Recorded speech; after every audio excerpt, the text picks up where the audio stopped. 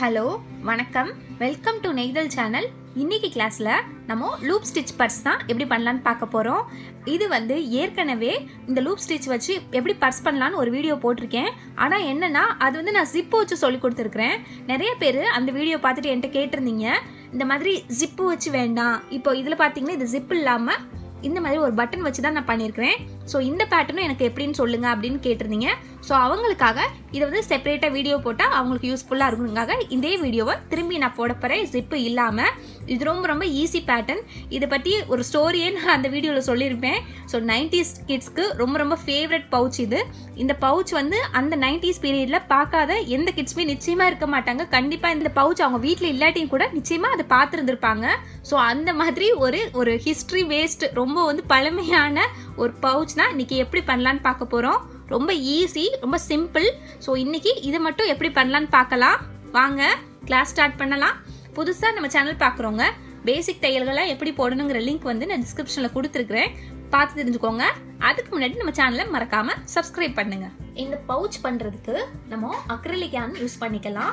இது நார்மலாக எல்லா ஃபேன்சி ஸ்டோர்லேயும் ஈஸியாக கிடைக்கக்கூடிய யான் அதுக்கப்புறம் ஹூக் சைஸ் பார்த்தீங்கன்னா நான் இன்னைக்கு four mm hook size follow பண்ண போகிறேன் பட் எந்த ஹூக் சைஸ் ஃபாலோ பண்ணியும் இந்த பேட்டர்ன் நம்மளால் ஈஸியாக செய்ய முடியும். இந்த பவுச்சோட அடி இருந்து நம்ம ஆரம்பித்து பண்ண போகிறோம் அதுக்கு நமக்கு தேவையான அளவு எதுங்கிறத ஃபஸ்ட்டு முடிவு பண்ணிக்கணும். நம்ம எந்த அளவுக்கு நம்ம பர்ஸ் செய்ய போகிறோமோ அதுக்கு ஏற்றபடி நம்ம அடியில் செயின் போட்டு நம்ம ஸ்டார்ட் பண்ண போகிறோம் ஃபஸ்ட்டு நம்ம ஒரு முடிச்சு போட்டுக்கலாம். ஸோ முடிச்சுங்கிறது ஸ்லிப் நாட் இந்த மாதிரி முடிச்சு போட்டுட்டேன். இப்போ வந்து இது நம்ம இந்த ஹோல் சைஸ் இருக்குது இல்லையா? நம்ம ஹூக் சைஸ்க்கு ஏற்றபடி இதை அட்ஜஸ்ட் பண்ணிக்கலாம். நல்லா இப்போ பெருசாக இருக்கு பாருங்க. நம்ம சின்ன சைஸாக நம்ம ஹூக் சைஸ்க்கு ஏற்றபடி இதை அட்ஜஸ்ட் பண்ணிக்கலாம். அட்ஜஸ்ட் பண்ணியாச்சு. இப்போ நம்ம செயின்ஸ் போடலாம்.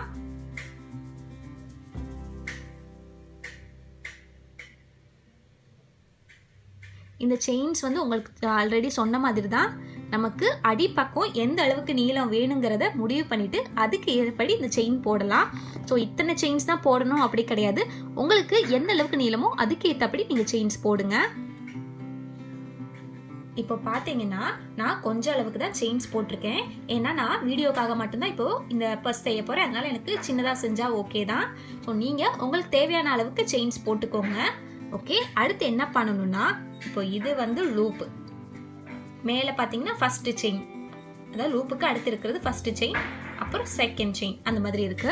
ஸோ செகண்ட் செயினில் போய் நான் சிங்கிள் குரோஷே பண்ண போகிறேன் இந்த ஹூக்கை இப்படி உள்ளே விட்டு இந்த நூலை அப்படியே வெளியே எடுப்போம். இப்போ பார்த்தீங்கன்னா ரெண்டு லூப் இருக்கும். ரெண்டையும் ஒரே டைமில் வெளியே எடுக்கிறோம். ஸோ இதுதான் சிங்கிள் குரோஷே ஸோ இந்த ஃபஸ்ட்டு சிங்கிள் குரோஷே போட்ட உடனேயே இங்கே இந்த மாதிரி மார்க் பண்ணி வச்சிடலாம் நெக்ஸ்ட்டு அடுத்த செயினில் இதே போல் சிங்கிள் குரோஷே போட போகிறேன் இந்த ஹூக்கை இந்த சென்டர் நடுவில் உள்ள விட்டு இந்த நூலை வெளியே எடுக்கலாம். இப்போது ரெண்டு லூப் இருக்கும் ரெண்டையும் ஒரே டைமில் வெளியே எடுக்கிறோம். ஸோ ஒரு சிங்கிள் குரோஷே போட்டுட்டேன். நெக்ஸ்ட்டு செயின்லேயும் அதே போல் சிங்கிள் குரோஷே பண்ணலாம். செயின் நடுவில் உள்ளே விட்டு இந்த நூலை வெளியே எடுக்கிறேன்.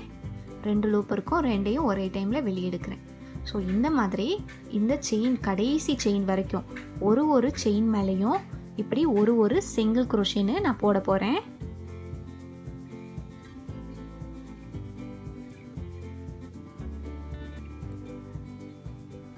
இப்போ பார்த்தீங்கன்னா இந்த மாதிரி ஒரு ஒரு செயின் மேலேயும் ஒரு ஒரு சிங்கிள் குரோஷே போட்டு முடிச்சாச்சு. கடைசி வரைக்கும் போட்டுட்டேன். இப்போ என்ன பண்ணணும்னா இந்த லாஸ்ட் செயினில் நான் இன்னும் ஒரு ரெண்டு சிங்கிள் குரோஷே போட போகிறேன் இந்த கடைசி செயின் இருக்குது இல்லையா? அதுலேயே நான் பண்ண போகிறேன் ஏற்கனவே ஒன்று போட்டு முடிச்சாச்சு. ஸோ இதுலேயே இன்னும் ரெண்டு பண்ண போகிறேன்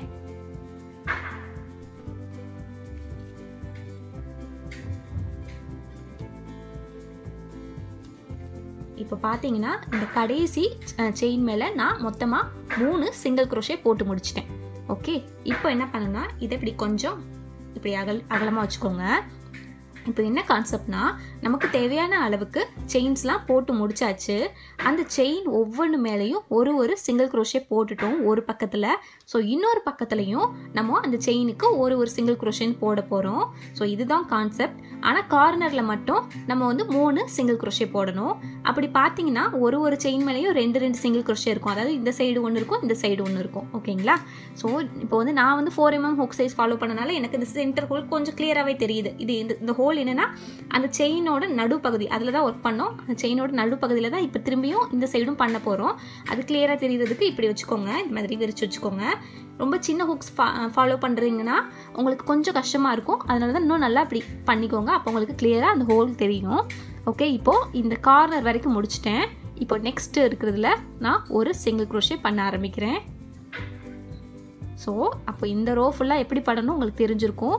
இந்த ரோ ஃபுல்லாக ஒரு ஒரு செயின் மேலேயும் ஒரு ஒரு சிங்கிள் க்ரோஷன்னு நான் பண்ணிகிட்ருக்கிறேன்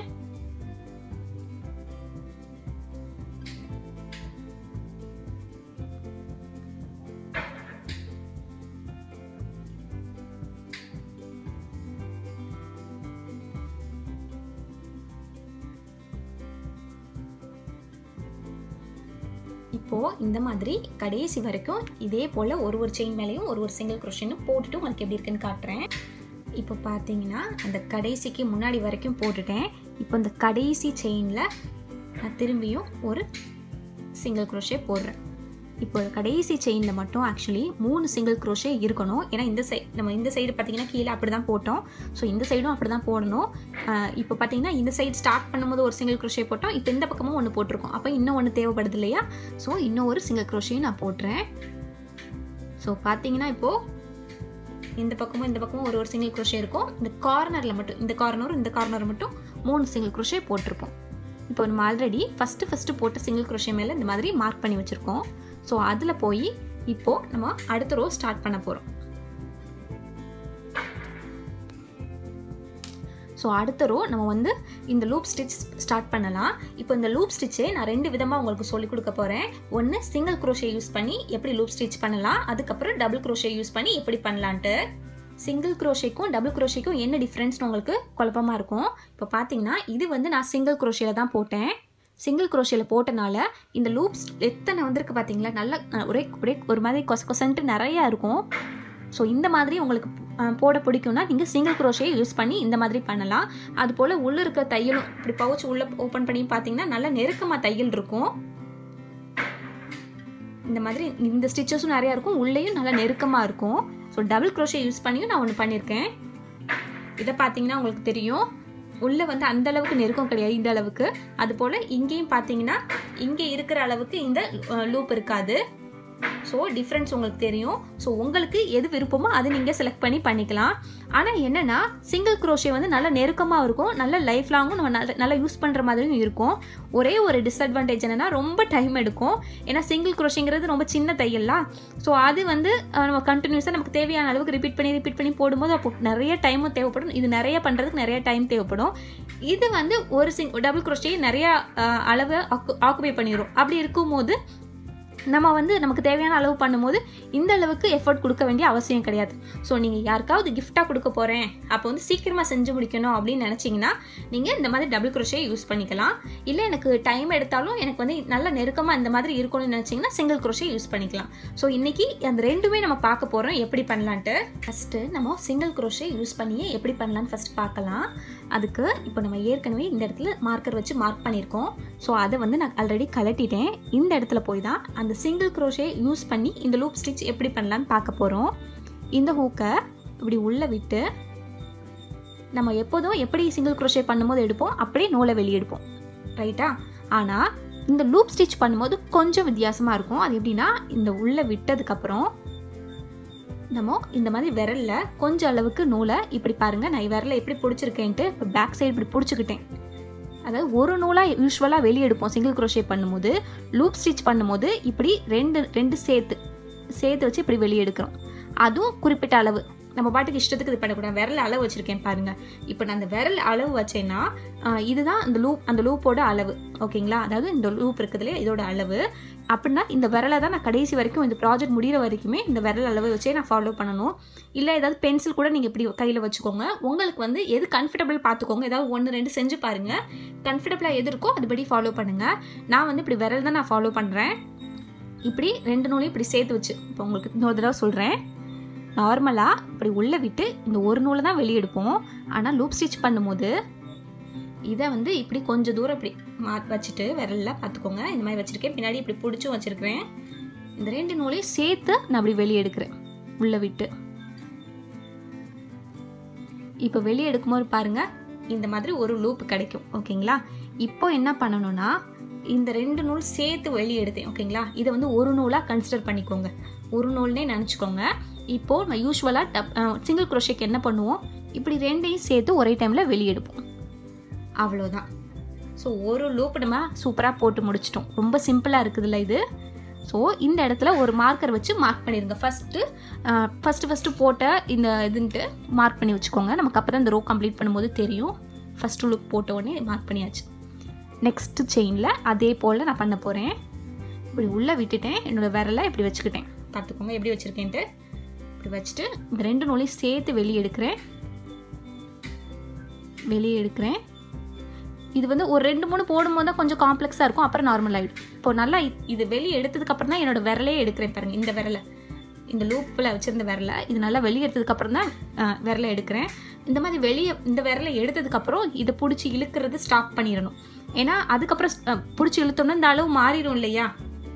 அதனால் இது வெளியே எடுத்ததுக்கப்புறம் இந்த நூலை சேர்த்து வெளியே எடுத்ததுக்கப்புறம் பிடிச்சி இழுக்கிறது ஸ்டாப் பண்ணிவிட்டு அடுத்து நம்ம வந்து சேர்த்து ரெண்டையும் சேர்த்து சிங்கிள் crochet பண்ணிட வேண்டியதுதான். ஸோ ரொம்ப ஈஸி தானே? அதே போல் இன்னொரு தடவை பண்ணலாம். உள்ளே விட்டு நான் வந்து விரல அளவு இப்படி வச்சுட்டேன். ரெண்டையும் சேர்த்து வச்சு வெளியே எடுக்கிறேன். இது வெளியே எடுத்ததுக்கப்புறம் என் விரலை ரிமூவ் இந்த இந்த விரலை எடுத்துட்டேன். இப்போது ரெண்டு இந்த லூப் இருக்கும். இந்த ரெண்டு இந்த நூ- நூலை வந்து ஒரு நூலாக கன்சிடர் பண்ண சொல்லி நான் ஏற்கனவே சொல்லிட்டேன். இப்போ ரெண்டு லூப் இருக்கும். ரெண்டையும் ஒரே டைமில் வெளியே எடுக்கிறேன். பாருங்கள் எப்படி இருக்குன்ட்டு லூப் ஸ்டிச்சு ஸோ இப்போது ஒரு மூணு தான் போட்டிருக்கோம். அதனால் ரொம்ப பெருசாக இது தெரில இப்போ ஒரு ஒரு ரெண்டு மூணு ரோ தொடர்ந்து போடும்போது தான் இதோட டிஃப்ரென்ஸ் உங்களுக்கு தெரியும். இப்போ நான் இதை கண்டினியூ பண்ணுறேன் இதே போல் ஒரு ஒரு செயின் மேலேயும் இது வரைக்கும்னா இந்த மார்க் பண்ணிருக்கிறதுக்கு முன்னாடி வரைக்கும் ஒரு ரோ போடுற வரைக்கும் தான் கொஞ்சம் டிஃப்ரெண்ட்டாக தெரியும். அதுக்கப்புறம் கை பழக்கம் வந்து நமக்கு தன்னால் வந்துடும்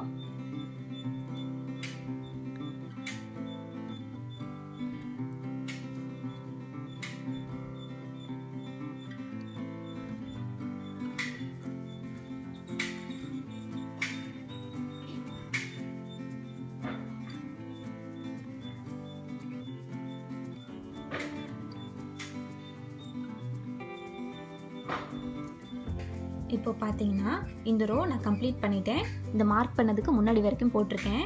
எப்படி இருக்குன்னு பாருங்கள் ஸோ இதுவே அடுத்தடுத்து தொடர்ந்து நம்ம ஒரு கொஞ்சம் ரோஸ் பண்ணும்போது இது இன்னும் பார்க்குறதுக்கு அழகாக இருக்கும். இது வெறும் ஒரே ஒரு ரோ தான் போட்டிருக்கேன். அதுவே நல்லா சூப்பராக வந்திருக்கு. இது சிங்கிள் குரோஷே யூஸ் பண்ணி பண்ணுற மெத்தட் இப்போ இதுக்கு அடுத்து அடுத்த ரோவும் நீங்கள் சிங்கிள் குரோஷே இதுக்கு முன்னாடி போட்டோம்லே அதே போல் தான் கண்டினியூ பண்ண போகிறீங்க இப்போ மார்க் பண்ண இடத்த கழட்டிட்டு அடுத்த ரோ ஸ்டார்ட் பண்ண போகிறோம் அடுத்த ரோவும் அதே போல் தான் நம்ம இப்படி உள்ளே விட்டு சிங்கிள் குரோஷே இப்போ நம்ம பண்ணுறோம் ஸோ இதே போல் நீங்கள் கண்டினியூ பண்ணலாம். இப்படியே வரிசையாக போட்டுட்டு அது போல் மறக்காமல் இப்போது இந்த ரோ இப்போ தான் ஆரம்பிச்சிருக்கு. ஆரம்பித்த இடத்த மார்க் பண்ணி வச்சிடலாம். ஸோ எதுக்காக மார்க் பண்ணி வைக்க சொல்கிறேன்னா நீங்கள் எதுவும் கவுண்ட்லாம் பண்ண வேணாம். ஜஸ்ட் அந்த ரோ கம்ப்ளீட் ஆயிருக்கு அப்படின்னு நமக்கு இந்த இடம் தான் நமக்கு தெரிய வரும். இல்லாட்டி நமக்கு தெரியாது. அப்படி நம்ம இந்த மாதிரி மார்க் பண்ணி போடும்போது ரொம்ப பர்ஃபெக்ஷன் பர்ஃபெக்ஷனோட ஒரு ஃபினிஷிங் நமக்கு கிடைக்கும். அதுக்காக தான் சொல்கிறேன் ஸோ இப்போ போட்ட அதே மெத்தட் படி தான் அப்படியே ரிப்பீட் பண்ணி ரிப்பீட் பண்ணி சிங்கிள் crochet யூஸ் பண்ணி நீங்கள் பண்ணுறவங்களுக்கு மட்டும் நான் இப்போ சொல்கிறேன் ரிப்பீட் பண்ணி ரிப்பீட் பண்ணி உங்களுக்கு தேவையான ஹைட் அளவுக்கு நீங்கள் போடலாம். ஓகே இப்போது இந் அடுத்த ரோ வந்து நான் டபுள் க்ரோஷியை யூஸ் பண்ணி எப்படி பண்ணலான்னு நான் சொல்ல போகிறேன் இப்போது டபுள் க்ரோஷியை யூஸ் பண்ணி லூப் ஸ்டிச் நம்ம பண்ண ஆரம்பிக்கலாம். அதில் இப்போ மார்க் பண்ண இடத்து இருக்குது இல்லையா? அந்த மார்க் பண்ணதை கழட்டிட்டே அந்த இடத்துலேருந்து தான் இந்த ரோ ஸ்டார்ட் ஆகுது. அந்த இடத்துலேருந்து இப்போ நான் பண்ண போகிறேன் ஓகே யூஸ்வலாக டபுள் குரோஷேக்கு நம்ம என்ன பண்ணுவோம்? இப்படி ஒரு தடவை சுற்றிட்டு இந்த பாருங்கள் அதாவது இந்த- இந்த இந்த ஜடப்பிட்ட மாதிரி இருக்குது. அந்த செயின் நடுவில் இப்படி பேக் சைடில் உள்ளே விட்டு இந்த நூலை வெளியே எடுப்போம். இப்போ பார்த்தீங்கன்னா மூணு லூப் இருக்கும். மூணையும் மூணு வந்து ரெண்டு ரெண்டாக வெளியே எடுக்க போகிறோம் ஃபஸ்ட்டு ரெண்டு லூப்பை மட்டும் வெளியே எடுக்கிறோம். அடுத்து ரெண்டு லூப் வெளியே எடுக்கிறோம். ஸோ இதுதான் டபுள் க்ரோஷே யூஸ்வலாக டபுள் க்ரோஷே இப்படி தான் போடும். டபுள் க்ரோஷே மாதிரி தான் இப்போ இந்த லூப் ஸ்டிச்சும் பண்ண போகிறோம் எப்படின்னு பாருங்கள் ஒரு தடவை சுற்றிட்டோம் இங்கே உள்ளே விட்டு இந்த நூலை வெளியே எடுக்க போகிறோம் ஆனால் என்னென்னா நம்ம இந்த மாதிரி விரலை இப்படி பிடிச்சிட்டு இந்த ரெண்டு நூலையும் சேர்த்து வெளியே எடுக்கணும். ஸோ யூஸ்வலாக நம்ம வந்து ஒரே ஒரு நூலை மட்டும்தான் இப்படி வெளியே எடுப்போம். இது உள்ளே விட்டு இந்த ஒரு நூலை வெளியெடுப்போம் இப்போ கொஞ்சம் ஸ்பேஸ்க்காக இப்படி நம்ம விரலை இப்படி பிடிச்சிட்டு பாருங்கள் நான் இப்படி பிடிச்சிருக்கேன்னு. பிடிச்சிட்டு ரெண்டு நூலையும் சேர்த்து இப்படி வெளியே எடுக்கிறோம் இப்படி வெளியே எடுத்துட்டு இப்போ இந்த விரலை வெளியே எடுத்துடுறேன். இந்த நூல் வெளியே எடுத்ததுக்கப்புறம் எடுத்துடுறேன். இப்போ பார்த்தீங்கன்னா இந்த இடத்துல இது வந்து ரெண்டு நூல் இருக்குது அதாவது வெளியே ரெண்டு நூலையும் சேர்த்து தானே வெளியே எடுத்தோம். அதுதான் இது. அந்த ரெண்டு நூலை நான் வந்து ஒரு நூலை கன்சிடர் பண்ணிக்கிறேன். ஓகேங்களா? நீங்களும் இதை வந்து ஒரு நூலை கன்சிடர் பண்ணிக்கோங்க. இப்போ நம்ம வந்து நம்ம லூப் மேலே எத்தனை லூப் சாரி நம்ம ஹூக் மேலே மூணு லூப் இருக்குது அதை ரெண்டு ரெண்டாக இப்போ வெளியே எடுக்கலாம். இந்த ரெண்டு எடுத்தாச்சு அடுத்த ரெண்டு. ஸோ இப்போ பார்த்தீங்கன்னா அழகாக நமக்கு இந்த டபுள் க்ரோஷை யூஸ் பண்ணி லூப் ஸ்டிச் போட்டாச்சு. எப்படி இருக்குன்னு பாருங்கள் ஸோ ஈஸி மெத்தட் இப்போ இதே போல் இந்த ரோவும் இப்போ இந்த ரோவுக்கு வந்து இதுதான் ஃபஸ்ட்டு போட்டது. போட்ட உடனே இப்படி நான் மார்க் பண்ணி வச்சிடுறேன். அதே போல் அடுத்த செயின்லேயும் நான் பண்ண போகிறேன் ஒரு தடவை சுற்றிட்டேன் சுற்றிட்டு இந்த செயினுக்கு உள்ளே வில்ல விட்டு இப்போ என்னோடய விரலில் இப்படி இந்த ரெண்டு நூலை இப்படி பிடிச்சிக்கிறேன். ரெண்டையும் சேர்த்து வெளியே எடுக்கலாம். பாருங்கள் வெளியே எடுத்ததுக்கப்புறம் தான் என்னோடய விரல் இங்கே எடுக்கிறேன். இப்போது இந்த இந்த நூல் இழுக்கிறத ஸ்டாப் பண்ணிடணும். ரெண்டு ரெண்டு நூலாக இப்படி வெளியே எடுக்கிறேன். எவ்வளோ ஈஸியாக இருக்குது ஸோ இந்த மாதிரி டபுள் க்ரோஷே யூஸ் பண்ணி இந்த ரோ இப்போ நான் போட போகிறேன்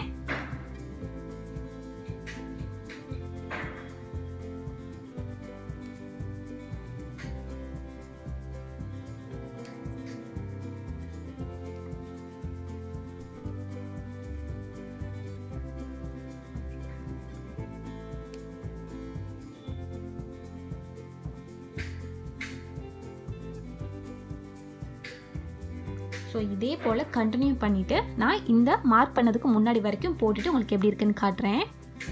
ஸோ அதே மெத்தட் தான் ரொம்ப ஈஸி பாருங்க எப்படி இருக்குன்ட்டு. ஸோ இதை போட்டுட்டு உங்களுக்கு காட்டுறேன். இப்போது இந்த டபுள் க்ரோஷே ரோவும் நான் போட்டு முடிச்சிட்டேன். பாருங்கள் எப்படி இருக்குன்னு. போட போடவே ஆசையாக இருக்குது எப்போ தான் போட்டு முடிப்போம் அந்த மாதிரி இருக்குது ஒரு சூப்பரான ஒரு டிசைன் எனக்கு ரொம்ப ரொம்ப பிடிச்சிரு பிடிச்ச டிசைன் இது. அது போல் நான் வந்து ஃபஸ்ட்டு வந்து சிங்கிள் க்ரோஷே யூஸ் பண்ணி பண்ணது ரெண்டாவது ரோ வந்து டபுள் க்ரோஷே யூஸ் பண்ணி பண்ணது. இந்த மாதிரி மாறி மாறி கூட நீங்கள் பண்ணலாம். எனக்கு இது பண்ணும்போது தான் இந்த ஐடியா வந்துச்சு. பார்க்குறதுக்கும் அதுவும் அழகாக தான் இருக்குது நான் ஏற்கனவே வெறும் டபுள் க்ரோஷே யூஸ் பண்ணி கொஞ்சம் அளவுக்கு ஹைட் அளவுக்கு பண்ணிட்டேன். ஸோ நீங்கள் உங்களுக்கு பிடிச்ச அதாவது சிங்கிள் க்ரோஷே யூஸ் பண்ணி மெத்தடோ இல்லை டபுள் க்ரோஷே யூஸ் பண்ணி மெத்தடோ இல்லை இந்த மாதிரி இப்போ நான் போட்டேன் பார்த்தீங்களா சிங்கிள் க்ரோஷே ஒரு ரோ டபுள் குரோஷே ஒரு ரோ அப்படி கூட உங்களுக்கு பிடிச்ச மெத்தடில் நீங்கள் உங்களுக்கு தேவையான ஹைட் அளவுக்கு இதை ரிப்பீட் பண்ணி ரிப்பீட் பண்ணி கொண்டு போங்க. அது போல் ஒவ்வொரு தடவையும் ரோ ஆரம்பிக்கும் போது மட்டும் இந்த மார்க்கர் மார்க் பண்ண மறந்துடாதீங்க அப்போ தான் இந்த ரோ கம்ப்ளீட் ஆகிருக்குங்கிறது நமக்கு தெரிய வரும். மற்றபடி கவுண்டெல்லாம் பண் கவுண்ட் பண்ணி பண்ணணும் அப்படிலாம் அவசியம் கிடையாது. ஜஸ்ட் நமக்கு தேவையான ஹைட் அளவுக்கு நீங்கள் ரிப்பீட் பண்ணி பண்ணுங்கள் இப்படி நமக்கு தேவையான அளவுக்கு போட்டு முடிச்சதுக்கப்புறம் அந்த மேலே இருக்குது இல்லையா இந்த ட்ரையாங்கிள் ஷேப் கொண்டு வரலாம். அதுக்கு நான் வந்து ஒரு செயின் போட்டேன். போட்டுட்டு இப்படி திருப்பிடலாம். திருப்பிட்டு இங்கே இருக்கிற ஃபஸ்ட்டு செயின் மேலே இப்படி இந்த ஹூக்கை உள்ளே விட்டு நான் ஒரு சிங்கிள் குரோஷே பண்ணுறேன் நெக்ஸ்ட்டு செயின் மேலே ஒரு சிங்கிள் குரோஷே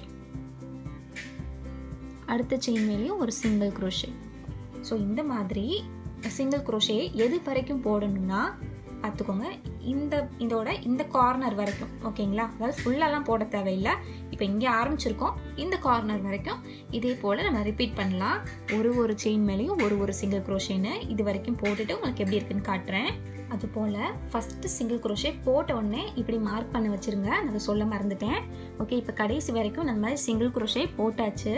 போட்டு முடிச்சதுக்கப்புறம் நம்ம ஒரு செயின் போடலாம். ஒரு செயின் போட்டு இதை இப்படி திருப்பிடுங்க. திருப்பிட்டு இப்போ பார்த்தீங்கன்னா இங்கே வந்து முதல் செயின் இங்கே தான் இருக்குது ஆக்சுவலாக இங்கே தான் இருக்குது இதை நம்ம ஸ்கிப் பண்ணிடணும். இதை ஸ்கிப் பண்ணிவிட்டு ரெண்டாவது செயின் இருக்குது இல்லையா? அதுலேருந்து நம்ம ஒர்க் பண்ணணும் இப்போது ரெண்டாவது செயினில் போய் ஒரு சிங்கிள் க்ரோஷே பண்ணலாம். ஸோ இப்போது இந்த ரோ ஸ்டார்ட் ஆகிடுச்சு இந்த ஆரம்பித்த உடனே இங்கேயும் மார்க் பண்ணி வைக்க மறந்துட வேண்டாம். மார்க் பண்ணி வச்சுட்டேன். ஸோ இந்த மெத்தடில் ரெண்டு கார்னர்லையும் மார்க் பண்ணி வச்சு பண்ணால் உங்களுக்கு ரொம்ப ஈஸியாக இருக்கும். இல்லாட்டி கொஞ்சம் கன்ஃபியூஸ் ஆகும். ஓகே இப்போது அதே போல் ஒரு ஒரு செயின் மேலேயும் ஒரு ஒரு செங்கல் குரோஷனையும் இப்போ நான் போடுறேன். இது வந்து நான் எது வரைக்கும் போடணும்னா இந்த பக்கம் மார்க் பண்ணியிருக்கோம் இல்லையா?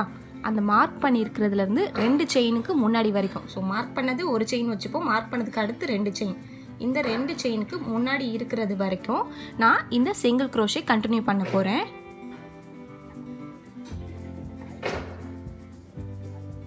நம்ம கரெக்டாக இந்த ரெண்டு பக்கமும் மார்க் பண்ணி பண் பண்ணும்போது இது தப்பே ஆகாது. கரெக்டாக இது ஃபினிஷிங் நமக்கு கிடைக்கும்.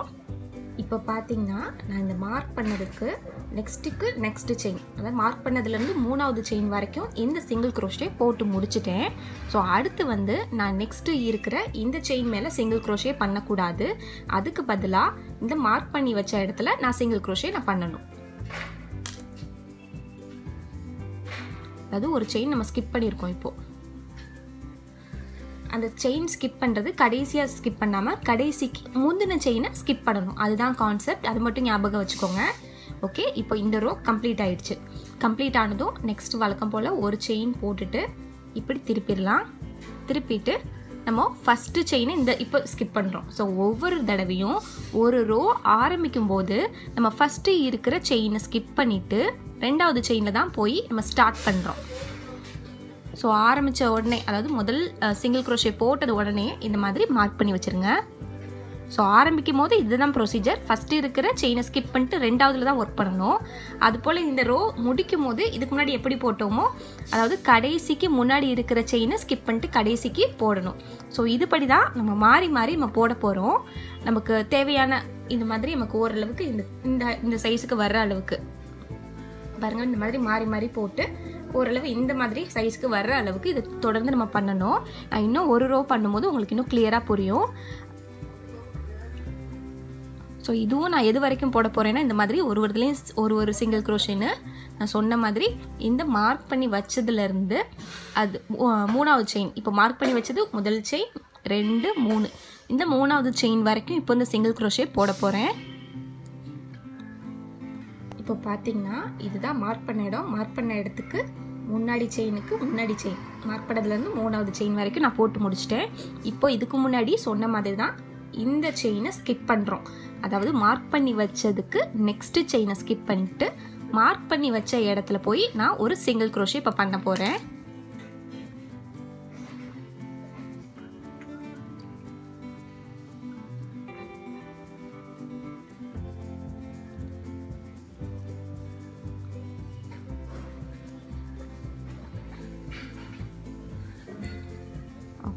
போட்டாச்சு.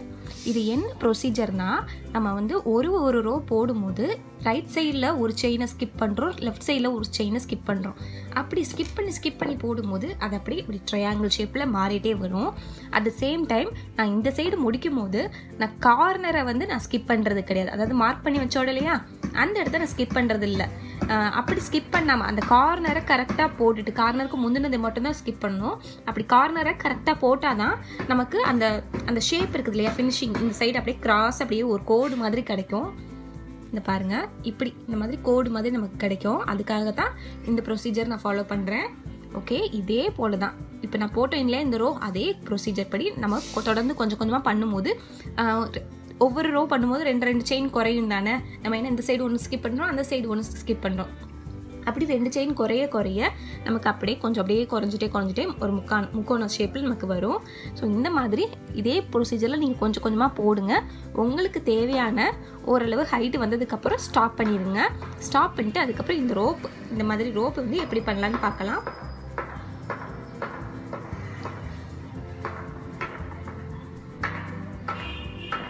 ஒவ்வொரு தடவையும் மார்க் பண்ணி வைக்க மட்டும் மறந்துடாதீங்க. இப்போ பார்த்தீங்கன்னா இப்போ நான் சொன்ன அதே மெத்தடில் நான் கொஞ்சம் கொஞ்சமாக போட்டேன். இப்போ பாருங்கள் எனக்கு இந்த மாதிரி க்ளோஸ் பண்ணால் இந்த அளவுக்கு வர அளவுக்கு இருக்குது எனக்கு இந்த அளவு போதுமானது. ஸோ நீங்களும் இப்படி க்ளோஸ் பண்ணி பாருங்கள் இந்த அளவு போதுமானதாக இருக்கும்போது நீங்கள் ஸ்டாப் பண்ணிடுங்க ஸ்டாப் பண்ணிவிட்டு இப்போ என்ன பண்ணணுங்கிறத சொல்கிறேன் இந்த மார்க்கர்லாம் இப்போ கழட்டிடுறேன். இப்போது நம்ம நம்ம பட்டன் சைஸ்க்கு ஏற்றபடி இந்த ஹோல் இருக்குது இல்லையா இது பண்ண போகிறோம் ஸோ நம்ம வந்து கொஞ்சம் செயின்ஸ் போடலாம். ஸோ இத்தனை செயின்ஸ் தான்ங்கிறது நான் சொல்லலை. உங்களோட பட்டன் சைஸ்க்கு ஏற்றபடி நீங்கள் செயின் போடணும்.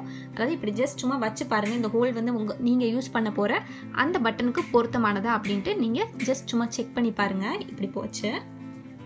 ஓகே எனக்கு இந்த ஹோல் ஓகே எனக்கு சரியாக இருக்கும்னு நினைக்கிறேன். கடைசி ஸ்டிச் இருக்குது இல்லையா? இதில் உள்ளே விட்டு இந்த நூலை வெளியே எடுக்கிறேன். இந்த வெளியே எடுத்தது அப்படியே இது வழியாக வெளியே எடுக்கிறேன். நல்லா டைட் பண்ணிக்கோங்க. டைட் பண்ணியாச்சு. இப்போது ஒரே ஒரு செயின் போட்டுட்டு நம்ம நூல் கட் பண்ணிட வேண்டியதுதான்.